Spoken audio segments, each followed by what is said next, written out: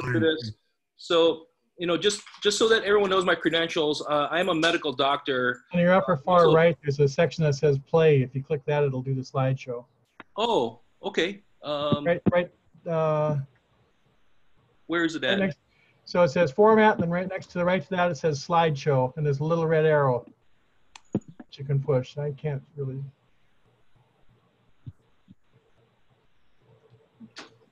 So where your slide is, then there's a little measure, the four, three, two, one, the three, four. Oh, I Right see. above that, Right there. it says play, and there's a red Got it. There you go. Got it. Okay, great. Thanks, guys. Well, you know, I, I- I'm I'm an I'm an MD. Uh, I'm, uh, you know, I have my medical degree from uh, 2007 from uh, Chicago Medical School. I'm also a BND as of uh, last year, uh, August of 2019. Does anyone know what a BND is? Anybody? Well, it actually means brand new dad, BND. So, you know, I, I, I guess the, uh, the the the point of this talk is that you know, uh, regardless of what your kind of uh, credentials are at the end, um, you know, you know, it just makes common sense. You know, like you know, I, you know, I, I recently got in this unfortunate kind of thing with somebody about chiropractors and offering more advice and saying that chiropractors have more training than MDs, and I, I, I really just couldn't believe I'm, I'm getting into that with on Facebook. So I just, uh, you know, you know, I, I have to kind of watch what I do and. I know that you know the previous uh, speakers were talking about social media and about um, online resources and i just have to watch out and there's so much stuff online and uh, you know just I, I would just say common sense you know and that's what i love about rotary is uh, there's a lot of common sense people regardless of our, our politics regardless of our personal background or beliefs i think rotarians in general just have a lot of good common sense and uh, and so this is kind of the the, the, uh, the one little funny slide I wanted to throw to you guys, kind of in, in, in relation to those degrees. But um, uh, yeah, it, it, it is what it is. I just think I thought this was kind of funny. Um, but uh, we'll we'll kind of move forward. So just some disclosures. You know, I, I'm I'm, a, I'm employed by Hawaii Pacific Health. I'm an emergency physician. Uh, you know, I do do some extra shifts in Kona Hospital. I'll tell you some funny stories about traveling during this uh, COVID crisis later. But uh, I'm also employed uh, uh, by the University of Hawaii uh, at Manoa. I'm a, a assistant professor in uh, the at JABSOM at the medical school, as well as in the um, the School of Nursing and Dental Hygiene. Uh, I teach nurse practitioners as well. Uh, I have no financial interests. I'm not getting paid uh, by any corporations. I wish I had some money and uh, some stocks in some of these uh, drug companies, but I don't. Um, I'm also not a primary care physician, so I don't have a private clinic. So, you know, people sometimes ask, hey, can I be one of your patients? Can we, you know, can I establish a relationship? Uh, unfortunately, I only work through the emergency department. Um, and again, this presentation is not an alternative to speaking with your own primary care physician. Uh, I'm also not paid extra, despite what uh, the news might think, uh, to diagnose or underdiagnose COVID-19. So uh, just FYI. So just the basics, this is just a basic slide, uh, straight up just from a Google search. I was trying to find the most kind of comprehensive. Again, very common sense, you know, and, and this is kind of, this is definitely not from a medical journal or medical slide.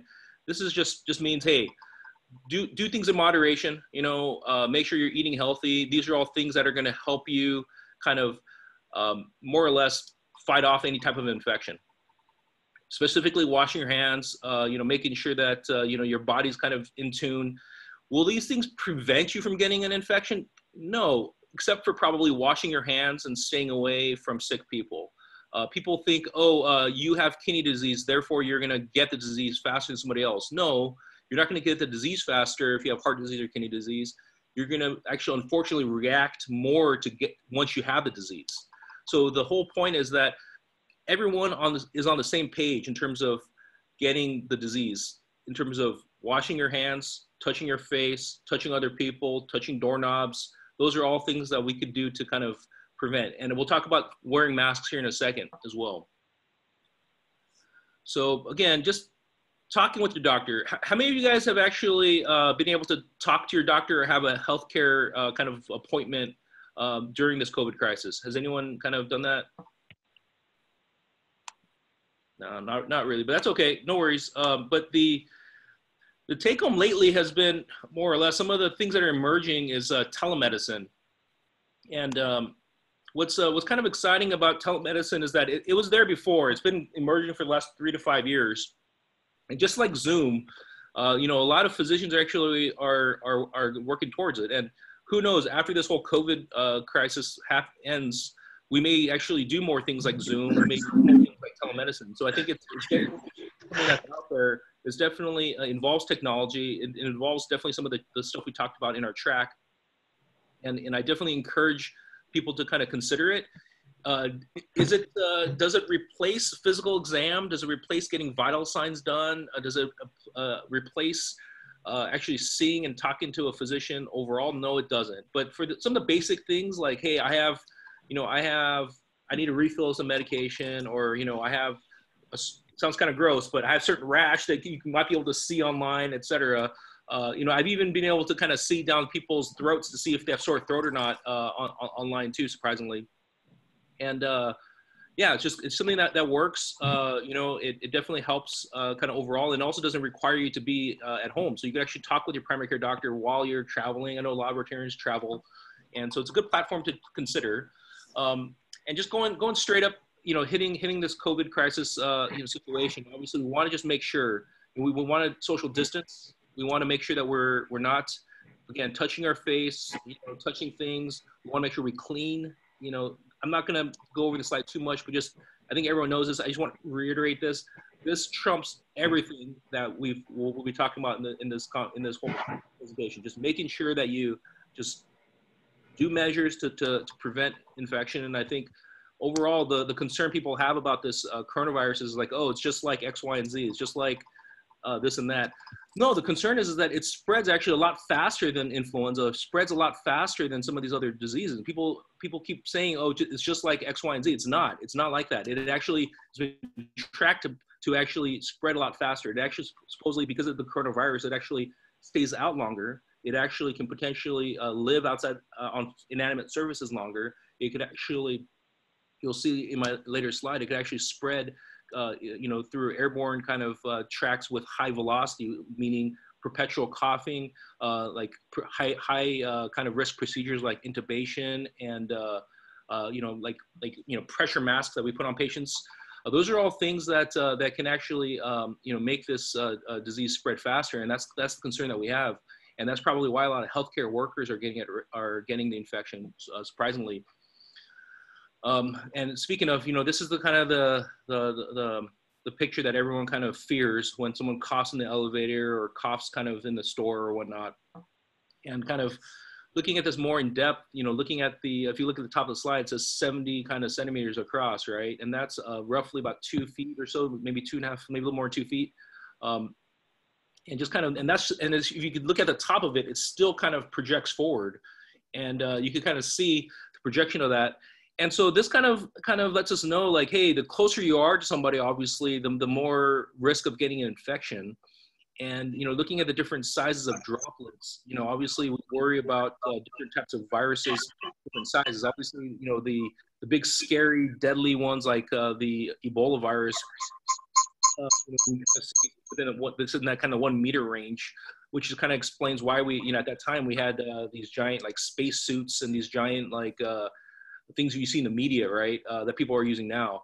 And again, a lot of people, um, you know, are um, healthcare workers who are within that one meter range, maybe shouldn't have the, that kind of setup. But, you know, walking down the street, uh, you know, going shopping, probably not necessary to have that, definitely not necessary to have that kind of level of PPE on. And, uh, and this is kind of just the size, you know, the, the, the point, uh, 003 to 0.05 micron size is that tiny little virus particle size. Um, and you know they still need to kind of latch on to um, droplets. So whether they're uh, rain droplets or uh, most likely when we sneeze or cough, those are droplets that we actually um, uh, pro project out. And those usually going back to that um, thing here, you know, those will usually drop within that first meter or so. So you know, honestly, like you know, you're, you're going to have the most protection by just staying at least a meter away. Uh, the two meter range will definitely get you outside of that and uh, you know, according to the slide here, you know, we'll get you to that 50 kind of micron level. Obviously, the the virus particle itself is even smaller than that, uh, so that's the concern. Um, you know, when, when we talk about um, airborne precautions. So when when you kind of like uh, shoot something at a high velocity, uh, and we're talking about like repetitively, repetitively, repetitively, those great droplets can actually um, um, break apart And then when those raindrops break apart, it's kind of like they kind of like turn to like a, uh, a uh, like almost like a vaporization or aerosolization, I guess.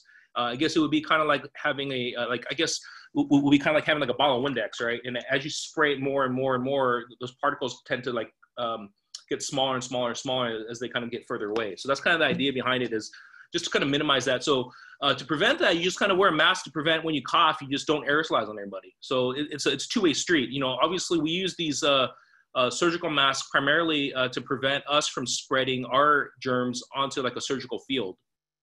And uh, obviously it's a two-way street.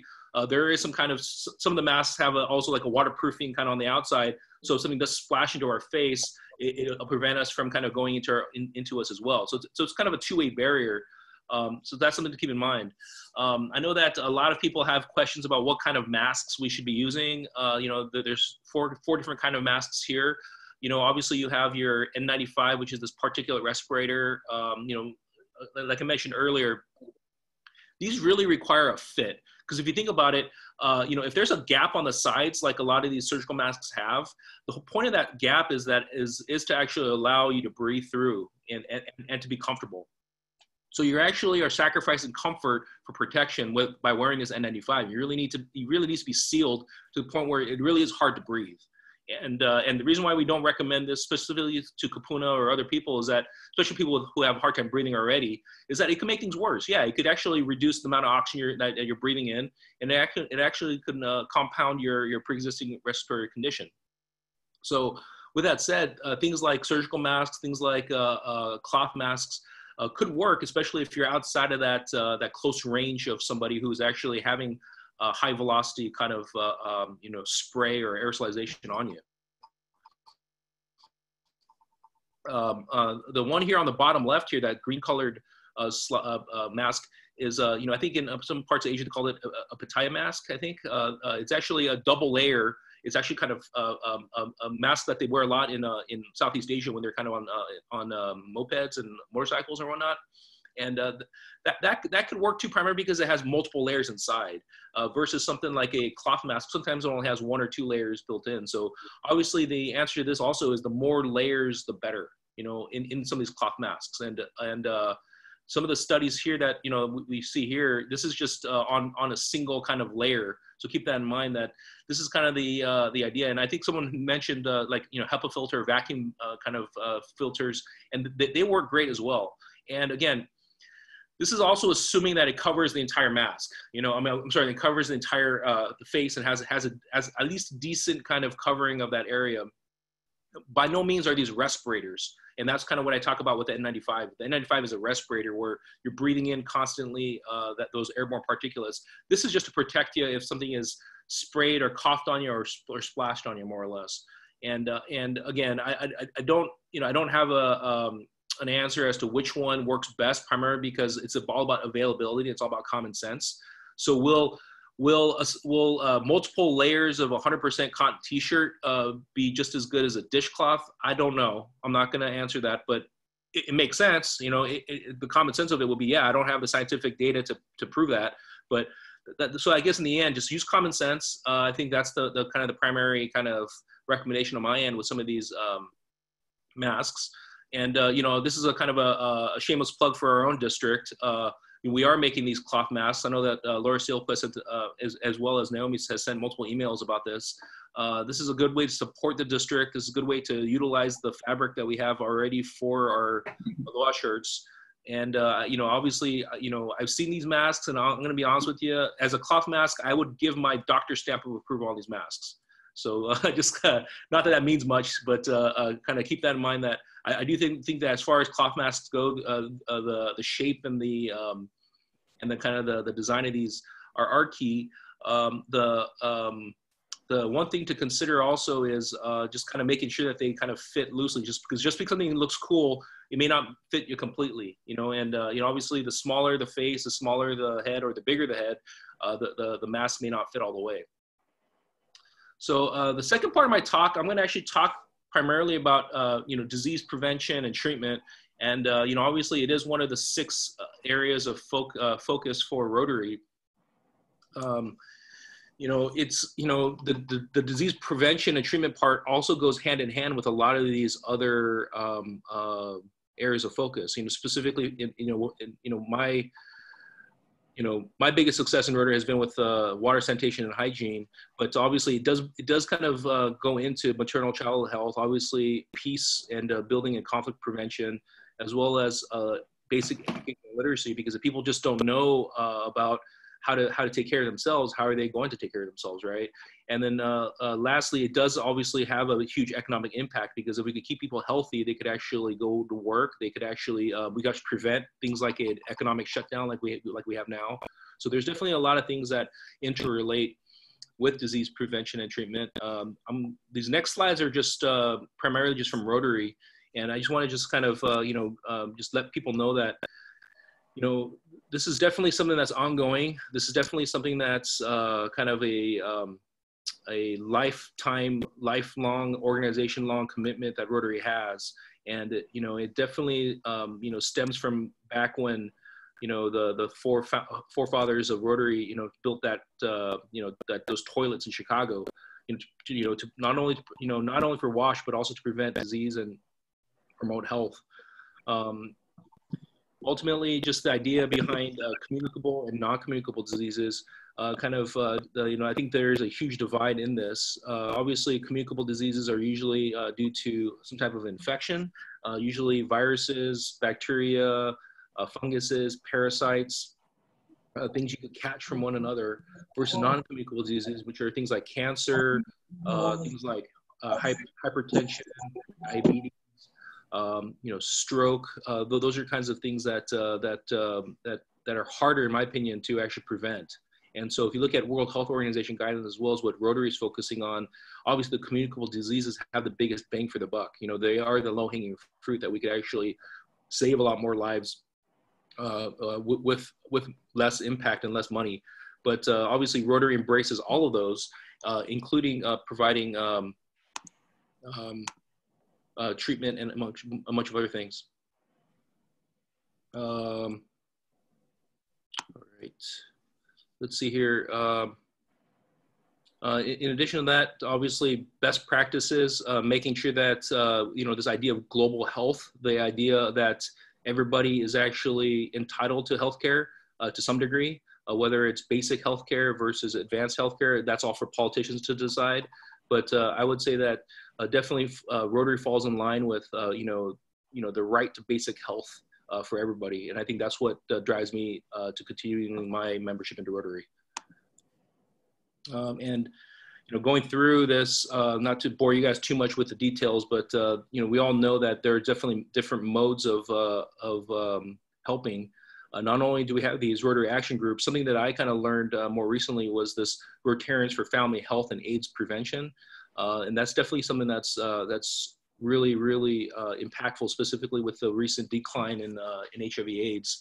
Um, and in addition to that, just working with uh, local governments uh, for these immunization days, um, and specifically, you know, right now working, you know, just the sheer number of Rotarians trying to help and work in countries like Pakistan and Afghanistan, which which have these kind of these lingering cases, unfortunately, spreading cases of polio still going on.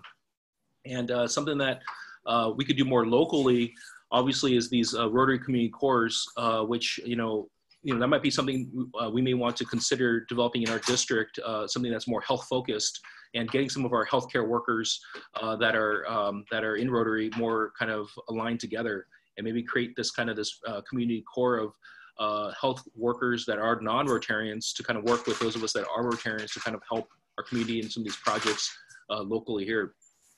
And uh, ultimately, um, uh, you know, I'm not going to talk about the global grant kind of details too much, but just understand that there are a lot of uh, global grants that focus on disease prevention and health. Um, and uh, ultimately, you know, there's definitely multiple ways of, of, of, of providing those, whether it's scholarships for, uh, you know, for health professionals to come to the States or to continue learning in their own countries uh, to actually help our current uh, frontline health workers, um, you know, dealing specifically with this COVID-19 crisis, which uh, I think our, our, district is working on right now, uh, to other kind of things like uh, the Home Project, which is a mobile kind of uh, health clinic that uh, that our, our Rotary Club is kind of promoting. And you know, not to do too much of a plug for my own Rotary Club, but you know, we just had last week we had a good talk from Rich Ziegart, who gave a great presentation on the Romania craniofacial VTT program, the vocational technical training program that our club's kind of spearheaded for the last five years. And so just something like that, you know, it's definitely not in the scope of, of communicable disease we talked about, but it's definitely something that promotes health. It definitely adds to a, a, a country's uh, um, all six areas of focus, I would say, in terms of uh, kind of helping them out overall. Um, and kind of lastly, just you know, just some resources, uh, you know, overall for you know for our Rotarians uh, in this talk right now. Uh, you know, if you just literally just go to Rotary.org and just click the little link for um, for disease prevention and health, uh, you'll you'll see these kind of these tools. And I, I think specifically there is an actual. I don't have the the link here specifically for it, but there is actually one specifically for ways to help your community, uh, um, you know, deal with uh, some of the things. Um, and uh, yeah, I'm gonna pretty much close up my presentation here and then see if you guys have any specific questions. I know that uh, uh, it seems like I'm getting some text messages already or some chats already from people. Um, and I just wanted to say, you know, tell everyone, you know, kind of um, invite for people if they want to kind of email me, reach out to me, um, and, and perhaps we can even create a network of other providers in Rotary uh, to kind of help fill that void that we might have right now.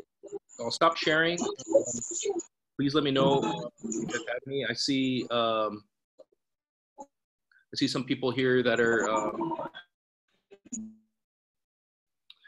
yeah, so I, I, have I have a question here that's uh, you know that that there says here um,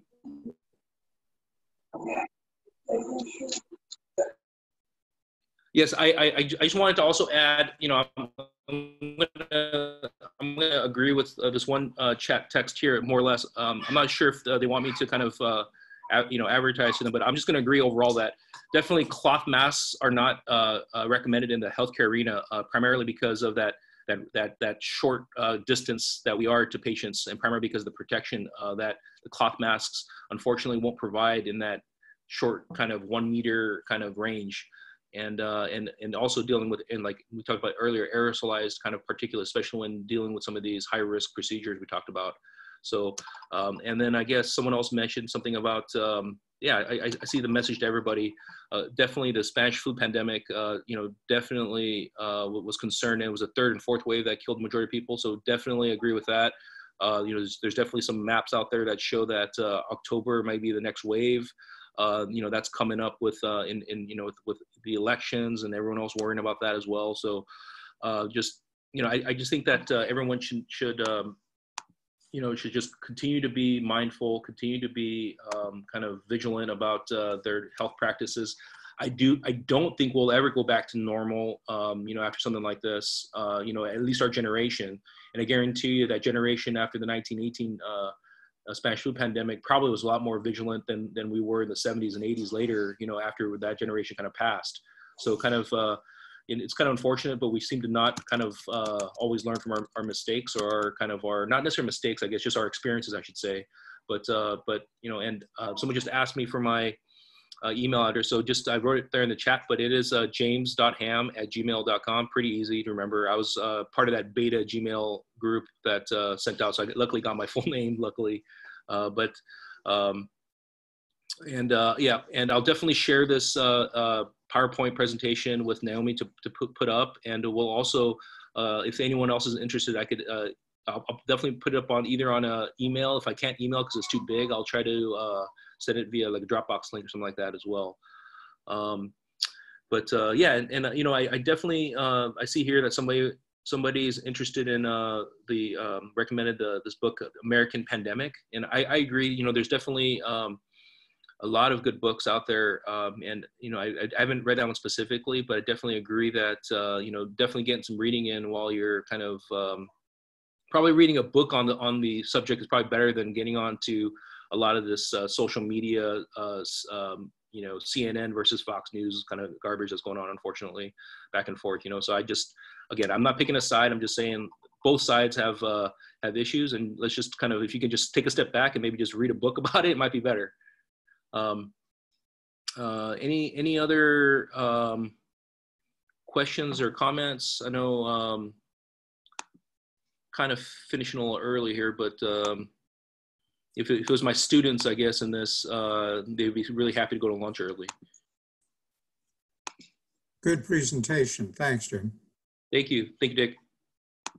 Hey, uh, James, can you talk about uh, Hawaii Towards Zero and what you're doing? Yeah, yeah. So, yeah, thanks for bringing that up. So, um, Hawaii Towards Zero is actually uh, an organization uh, by um, uh, uh, founded by Leo Koloamatangi. I think I'm pronouncing that properly. he's an NFL lineman from Hawaii, Samoan, obviously by his, by his name, but he went to University of Hawaii and he's now a lineman with the New York Jets and he's kind of he really just said just sitting at home sheltering in place he really wanted to do something and you know he's you know he's 25 years old but he speaks like he's uh, one of our senior rotarians it's just an amazing uh, gifted man uh, but he's he's put together this organization just to help and it's whether it's helping with uh, uh, tracking the virus and he's helped he's actually uh, instead of relying on our government, uh, which uh, you know people may have some issues with uh, relying on some of that information, he's he, they created a, a way to actually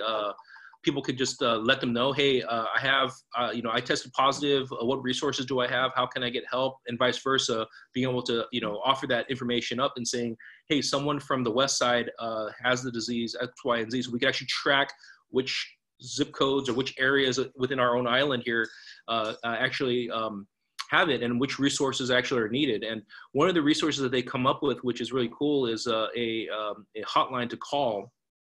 And uh, he's kind of gotten a few of us healthcare providers, uh, not, doctors and nurses, to actually, uh, um, you know, get on this app. And uh, he's very tech savvy as well. He's he's actually got a, several people that are um, working for him that are uh, super tech savvy, and they've created this app where people could just um, phone in, and then the app will actually call me and let me know and let me know if I need if I could take this call or not, and then I'll just answer basic kind of health questions using uh, CDC guidelines. I'm not trying, I'm not pro- providing any medical advice per se, but just uh, just kind of reiterating the, the guidelines.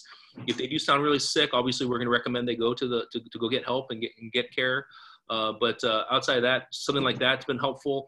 Another another kind of uh, multi-pronged approach to kind of helping with uh, uh, this disease and get literally Hawaii towards zero on, on the on the COVID is uh, working in the community, and I think uh, helping out specifically with uh, Kupuna Hour when we have shopping. Uh, you know, I think it was noticed. Um, you know, obviously now that uh, a lot of the stores are required to actually have masks on, but still a lot of people don't have masks. And I think uh, one project that they're working on is providing some of those masks uh, for those, um, um, you know, and also other shoppers coming into the store to actually offer them a mask and not necessarily uh, ostracizing them or make them feel bad for not having a mask, but just saying, hey, uh, we care about you. Here's a mask. We just want you to consider wearing it, and then kind of go from there. Uh, and uh, I think that's a that's probably a better Hawaii approach than uh, you know pointing the finger at them, getting the cops involved, and you know kind of kind of uh, causing more beef than actually need be.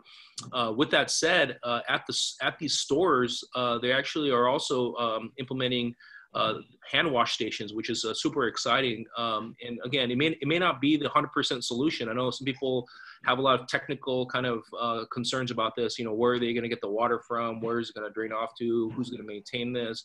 Or are they going to get the soap to wash the hands? X, Y, and Z. But uh, Wayne, shoot, I forgot his last name, but he is the owner of all of the uh, Ace Hardware stores outside of Oahu. Um, and he's also partnered with the Ace Hardware stores on Oahu as well to actually uh, um, start. Um, you've already started designed and built these uh, uh, these sinks, and they've actually uh, worked with uh, not only the Ace Hardware stores but also with uh, Home Depots, Costco's, um, Foodlands, Safeways, and Times, KTA, all, all these grocery stores. they've kind of he's using his kind of NFL probably you know status to kind of talk with some of these people and and more or less ask these stores, hey, would you be willing to put up a sink in your uh, or a few sinks in your in front of your store? Would you be willing to provide the uh, the the maintenance and the and the staff to actually um, do this? Um, and at the same time, would you also be willing to uh, help with uh, uh, you know, maybe passing out some of these masks too. And it's, it's, it's in the end, it's a no brainer for the store if it's uh, going to help uh, produce, uh, you know, reduce infection. You know, less people with dirty hands are going to touch the produce. You know, uh, et cetera. Right. So it's, it's kind of it kind of makes sense. It may not be the right answer, you know, but it is it is one solution to help. Uh, you know, especially with the hand sanitizer hand sanitizer being such a limited uh, resource right now. And uh, what's also kind of exciting, just kind of a side note, uh, you know, Wayne is also working on this like ozone water uh, hand wash technology, which is super cool. Uh, he's willing to foot the bill. He's already put in 10 grand into this project to help. Uh, and he's he's kind of he wants actually to install some of these ozone filters. Um, I'm not ozone filters. I'm sorry, ozone uh, water stations, which I guess this ozonated water can actually sterilize and kill bacteria and viruses as well. And I guess they, they, they use it a lot in uh, public um, bathrooms and stuff like that in Taiwan. So you don't need soap. You just put your hands in this ozonated water and it kind of sterilizes uh, your hands. And then the, the ozonated water uh, dissipates within like a few minutes after, uh, after, after um, being exposed to the air. So it's kind of interesting technology. It's kind of cool to see these people kind of come out, and uh, each sink is only 100 bucks. You know, so you know, uh, right now uh, my club, uh, we, we've put together, uh, you know, 1,200 bucks to to get. You know, 10 to 12 of these sinks put up, and you know, we're looking at partnering with Foodland, and Foodland has a huge Rotary kind of connection with Solly Sullivan and the Hawaii Rotary Youth Foundation. Um, and uh, just you know just kind of you know I, I think it's a great way for, for us to give back and you know you know I'm kind of rambling now but I uh, just want to see if anyone has any other questions about uh, Hawaii to Zero and some of the efforts that uh, we're doing at least here on Oahu. James, is that the name of a website? Hawaii uh, yeah, Zero? you know what? It's um, you know what? If you just literally Google Hawaii toward Zero, uh, I'll, I'll, I'll get you the website. I'll put it in the um, um, in the, the chat box right now. Thank you. Yeah, yep. Appreciate it. Yeah. Any other questions? James. Hello, can you hear me? Yes, yes, yes. Hi, James. Um, you mentioned, uh, thanks for the great presentation. And you mentioned briefly about um, healthcare workers uh, who must be at uh, highest risk or their families at this time in places like India, uh, for example, government is providing free five-star hotel rooms to healthcare providers, so they can they don't have to go straight to their home. Instead, they can go to a hotel and sleep, or uh, get shower and then go home. And I'm assuming we don't have something like this. I wonder what uh, what your thought would be like. Do you think that's really um, uh, like needed? Or if something we can do something like that or just i just want to know your thought about this. Yeah so uh, one of the sites that i actually uh, volunteer at with the home project which is that homeless outreach medical education van uh, is actually uh, over at st mary's church on king street in the moiliili area. And uh, on the thursday mornings uh, where we when we go um, there's actually a um, like a shower kind of um, I guess, trailer that comes by. And I've seen this trailer also in Kaka'ako, and I'm not sure if they actually uh, partner specifically with Home. I have to ask Jill Omori about it, but uh, it's interesting because it's literally a one-stop shop. You, you, go there, you take a shower. Uh, there's also the church hands out clothes. Uh, you get you get a fresh set of clothes. You get uh, you get some health care while you're at it, uh, and then you get a chatted up with some students. I swear, I, I, feel like the students are just there to provide entertainment and uh, and chat support with some of these guys, but it's still a cool opportunity. But uh, but in the end, you know, I, I think things like that are, are definitely important uh, for places like uh, that have a high um, volume of homeless and people in need. Um, again, I'm not I'm not too certain as to what the city is doing per se, but I know that there's definitely some organizations out there. I think there's at least two or three of these organizations that are providing showers out there uh, I, I, definitely agree that hygiene, uh, uh, you know, regardless of it's, um, you know, washing hands or just full body showers, I think, you know, just promoting hygiene in general is definitely important. And I think, you know, um, uh, you and I, Arjun, you know, we're both on these uh, projects in other countries and, you know, internationally. And, you know, this is kind of an interesting kind of concept for us to bring wash projects to the United States, which, um, you know, five months ago, three months ago, we never would have thought we would be doing a wash type project in on Oahu, right? And uh, you know and definitely i would like to see this project expand out and you know perhaps we could even use some of these uh, hand wash stations and some of these uh, you know uh, you know high volume areas instead of having uh, you know people come to um, uh, like you know city parks where there are a lot of kids or a lot of tourists kind of involved and you know people in need will go to those areas unfortunately interact and have some maybe some bad interactions with some of those people. We just had you know a, a near death here at, uh, at mother waldron park in kaka'ako with a japanese tourist and a homeless guy uh, as well. So you know just kind of trying to avoid some of these inter- negative interactions. I think maybe uh, you know doing the opposite and reaching out and maybe providing some of these more mobile kind of setups might be more important. And you know again this may be the silver lining too. And honestly, from a homeless perspective on Oahu anyway, uh, you know, we definitely have a lot of um, we have a lot of uh, a lot more resources with uh, uh Scott Miscovich and uh, uh, and Lieutenant Governor Josh Green helping out with the homeless, and they set up a, a COVID kind of shelter for for patients that are either waiting for their test results to come back or people that are positive. And I know that um, um, and Kathleen Merriam actually, uh, you know, led a great project to help those people out as well. And I think, you know, just seeing some of these these these partnerships help, and I think uh, this may be the silver lining where we may actually start helping more of our own community because of this. And I think, uh, you know, a lot of people are perseverating at their homes, kind of worrying and having, you know, you know, anxiety provoking kind of nightmares and stuff like that. I know a lot of people have talked to me about that. Uh, but maybe we could put that uh, that revved up energy to good use and start uh, getting out there. And um, you know, maybe when this ban gets lifted, obviously, I think uh, you know, obviously the ban getting lifted doesn't mean that we're going to be going back to our normal our normal selves. We're still going to be taking our precautions, but maybe that might be a good time for us to uh, get out there and, and help some of these uh, areas in need. Dr. Ham? Yes. Uh, great job. It's it's uh, Kimo Jim and Hilo. Um, I just want to say what a great job you did, and uh, it's a it's a privilege to serve with you on the International Service Committee. Uh, as you know, I'm connected with a global telemedicine global grant uh, that we're uh, now right now doing in uh, Nepal. Uh, it's a evolving into a fantastic, very very successful VTT. Um, I wanted to mention to you that we are doing our particular nonprofit does and what we call a grand rounds. It's a global grand rounds. And we have one uh, that we're doing. It's called Asian Grand Rounds. Um, and we'd love you to be a guest. Uh, I can plug you in. Uh, it'll be at 9 p.m. Uh, Thursday, the 23rd. And what we're uh, dealing with is we're dealing with the COVID 19 and uh, we've got a group of hospitals. Uh, we're in uh, the Philippines, Nepal, China, as well as India, and of course, uh, seeing our uh, VTT team there. Um, they'll all be discussing, you know, how they're treating the COVID-19.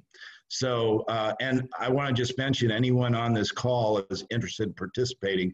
I have my email on the chat. So uh, but I wanted to just uh, make you aware of that because uh, not only do we need you at Global Telemedicine, but we need you here in Hawaii. And it's so great to have a Rotarian like you, um, you know, practicing medical doctor, uh, dealing with uh, the technology and all the challenges that we have, especially here in Hawaii. So much mahalo. Thanks, uh, thanks, Kimo. I appreciate it. Uh, yeah, I'll, I'll, be there uh, on that call. Uh, thank you for the invitation. And uh, like I said, I, I think I really do think that uh, with this COVID nineteen thing, your telemedicine project is going to expand exponentially, and I'm definitely looking forward to it. I definitely have some other ideas for you, so we'll definitely talk offline. Thank you very much. Wonderful. Yeah, we're we're expanding by we're erupting leaps and bounds, so to speak, in a Hawaiian term. But thank you very much. I'll send you an email on that. Thank you. Uh, Nancy Cabral had a question about um, how come some people get it and some people don't. What is the reason for that? Um, honestly, it's it's it's hard to say. It's it's it's all probability and statistics. You know, obviously, like I, I would say the healthcare workers get it more because we see more of them. You know, and I think the less uh, New York, uh, I, I, have a, I have a strong feeling New Yorkers get it because they're uh, in more crowded populations in the subways uh, air is not recirculated more often in those areas. Um, you know, and but it's it's hard to say because you know you have other areas like uh, Boston that are hit pretty hard too, and they have a pretty good metro as well. So uh, DC as well. So it's just it's I think it's populated areas. Uh, there's also the um, you know you know huge global health uh, experts like Paul Farmer will say things like, you know, obviously socioeconomic status, because uh, people are living in uh, more closer quarters. Uh, you know, we, we're not able to have these giant houses or ranches that separate us up, uh, uh, you know, socially distance us by by uh, by socioeconomic status, right? So I think I think that's kind of the biggest biggest answer. I would say why people succumb to it more often is primarily because of uh, pre-existing health conditions and uh, and the ability to um, uh, kind of uh, you know stave off some of these uh, um, these attacks on your organs. You know, especially like kidneys, heart, brain, lungs. Obviously, uh, those are a part of the you know those are just the basic areas that dysfunction regardless of what kind of infection we have and unfortunately, uh, you know, there's definitely studies out there that there's this thing called sepsis, which is a, a body's uh, uh, overreaction to an infection, and that's usually what kills us. And it's, it's the body's overreaction. It's uh, uh, there's a, a good study from a um, again these are all anecdotal kind of studies, but you know rather than like things like hydroxychloroquine, uh, which you know works in as a as a reduction of immune response overall, They've actually done studies more specifically on things like, uh, you know, things like interleukin six, which is a type specific type of, uh, of uh, um, I guess, um, reaction mediator that your body kind of secretes when when, it, when we're having a reaction, and that actually uh, causes a really really bad immune cascade. And uh, there's a, a, an emergency physician that uh, that un unfortunately I know professionally in in Seattle. he just walked out the door actually after being on a ventilator for four weeks. And uh, what saved him, they think, is uh, starting him on that medication. They, they tried hydroxychloroquine, they tried all these other drugs that are talking about in the media. They're not working. He's a 44 year old, uh, you know, otherwise healthy guy. He has, he's a little bit obese. So now they're saying that a lot of uh, obesity is a, is, is a risk factor too. But that, that doesn't, there's no mechanism. It's just a correlation, right? So a, lot of it is new. Uh, the data isn't quite all there, but definitely elderly, uh, primarily because of uh, the the lack of ability to um, kind of respond as quickly. You know, um, kids they say uh, bounce back faster, whether it's from injury or infection or whatnot. But uh, I'm still surprised, you know, you know, having an eight-month-old, you know, who's not fully immunized, uh, you know, and technically is at risk for, you know, influenza and a bunch of other kind of uh, communicable diseases. It's still kind of a mystery to me as to why the infants aren't as infected. They think uh, uh, they, they, think a lot of it has to do with uh, respiratory clearance. Uh, the babies may not be taking big enough breaths to suck in enough. I don't know. I, I don't know all the details, but uh, but definitely how we commun- how we uh, get infected amongst ourselves is specifically through that spread of of um, you know we call germs. You know, I feel bad for anybody who's German because I think that term has lingered on after World War One, right? Uh, but uh, I, am not going to go into the politics of uh, of uh, you know calling out countries for uh, infections, but uh, I just thought that was kind of a funny little term. We still call it Germs, but the Germans aren't up in arms and, and yelling at us about it. But anyway. Oh, yeah, this is Nancy Cabral, and I, I do want to give a shout out. I recognize a lot of the names that were at PETS, and I was there. And um, some of the people know I mentioned that my father had the coronavirus. He's 92 years old, and my stepmother, 88. They were on that Diamond cruise ship in Japan. So they were in, in a Japanese hospital for 38 days, recovered, have been back home just over a month now, and I was able to spend time. So both of them recovered. My dad really close. He had pneumonia twice during that time. So, so that's why it's such a mystery because she was barely sick. She said she would never missed a game of bridge, and there my dad is, you know, practically dead. And they were everywhere together. Their exposure was identical. So strange, but a miracle. So the good news is for those who I was worried about during pets that my father is, is surviving and putting on weight. He lost a lot of weight. So good, good news. That's great news. I'm so happy. That's a, these are the success stories we need to hear about, you know, yeah. and, uh, you know, he's probably one of the, um, you know, oldest people to, to survive it too. So, um, you know, that's, that's, that's just makes me feel great. Thank you yeah. so much for the great story. Yeah. Good, good news. Thank you for the information. This is fantastic. Thank you, Nancy. Um, any other questions? Um, I'm kind of just scanning through. I see some people have joined. Um, well, we, are getting a lot of different islands. I, I, I love this. This is great.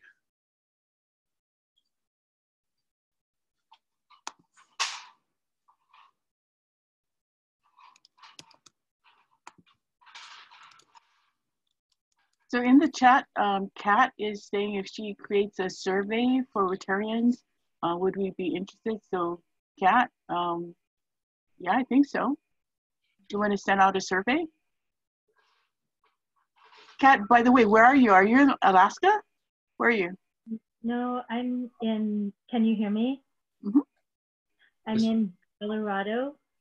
My family has just returned from Hawaii to Alaska, and they've just finished their uh, 14th day in quarantine. And I've been in isolation since March 11th with COVID 19. Um, and I was just thinking that it might be interesting for Rotary to know if any of us were in fact infected or any of our near relatives. Do you think that would be helpful, Jake?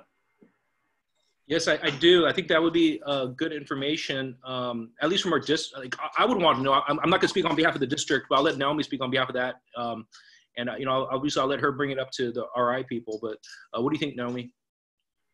Yeah, I think it would be interesting, but we can also add to the um, the Hawaii Towards Zero because they're doing the survey on where. You know? Yep, I yep I agree, and and uh, obviously that information uh, for them would help, and obviously uh, we could create maybe a little subsection within Hawaii uh, towards zero where they could collect that information as well. But uh, obviously, if you, if you want if you want me to be the, the point of contact for that, I'll be happy to, Kat, as well. So just uh, like let me know if you want to create the survey uh, and send it out. I'll be happy to help organize it and uh, and kind of at least for the time being. Um, uh, hopefully, my, my, my wife doesn't hate me too much. If you wouldn't mind um, sharing with me your email so I can send it to you. I'll put it in the chat line here. Um, okay. And it's just just so you know as well, it's just my first name dot last name, James dot ham at Gmail. Perfect. That's easy. Thank you. Okay, so um, we need to wrap up. Uh, oh, we're a little bit over time, but um, the uh, the Hawaii Towards Zero has a call center. So if you would like to volunteer for the call center to take the calls, and you can take it from home.